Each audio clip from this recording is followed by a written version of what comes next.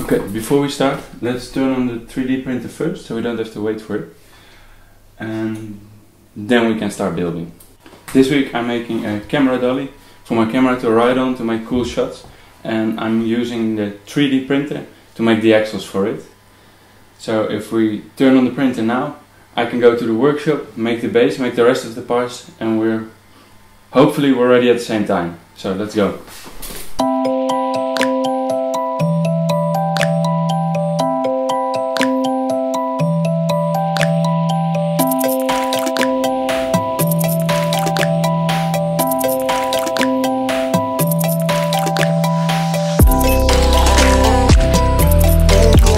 Reason I'm making this base out of wood is because it's a lot quicker than if I would 3D print it.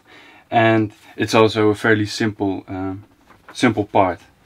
So there's not much reason for me to print it. If you don't have the tools to make it out of wood you can print it of course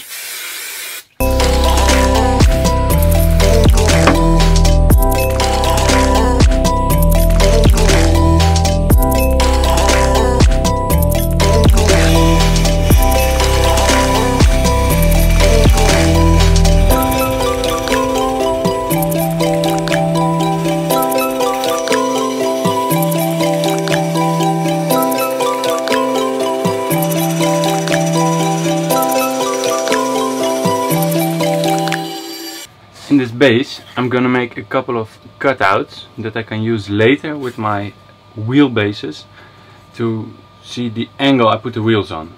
So I'm gonna make a couple of cutouts here. On my wheel bases there will be a little arrow and then you know when you set the wheel straight or under a slight angle and you can set them equal really easy.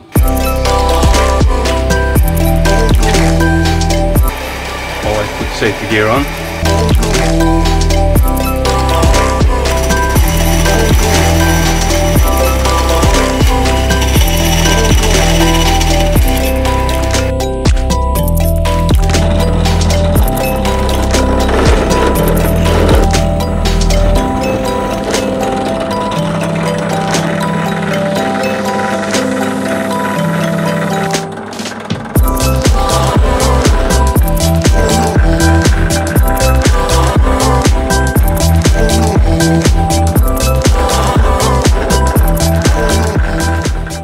So the basics are done. It's all very rough now, so I still need to sand it. And um, but the holes are in, the dividers are in, that you can see where the wheels are, and the rough outlines there. So I'm gonna put my drum sander on the drill press. I love this little thing. I'm gonna do the the round pieces or these pieces, and then on the disc sander I'm gonna do the rest.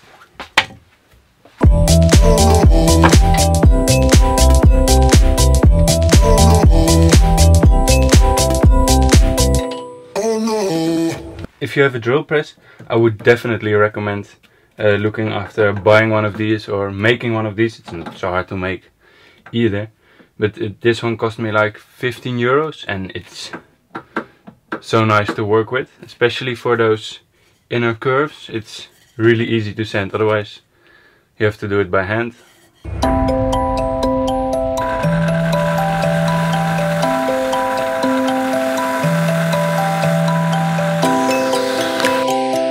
Forgot to mention, it's really dusty.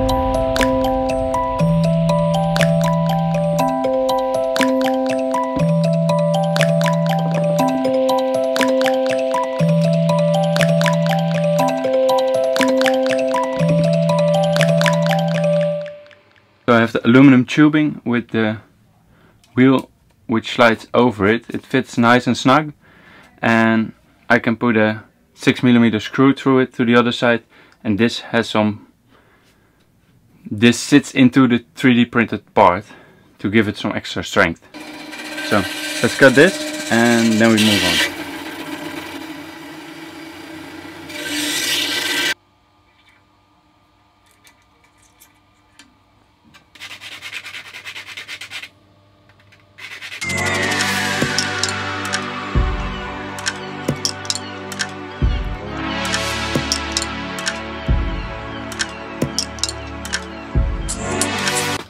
Printed parts are ready.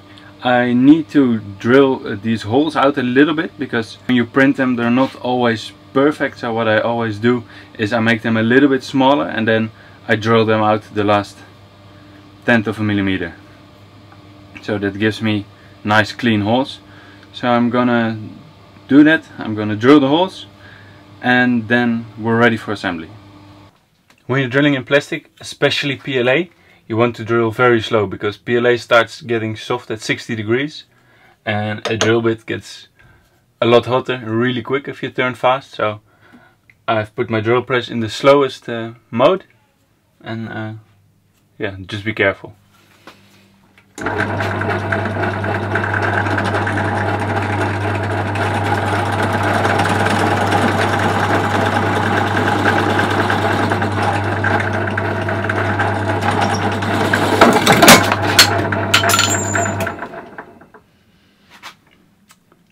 like I said, just be careful.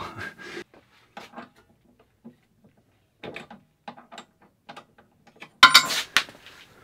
think we can agree that it didn't really work out with the drill press, so for the next one I'm trying it with a new 8mm drill and just my battery power drill. So hopefully it will work better. At least it feels like I have a little bit more control.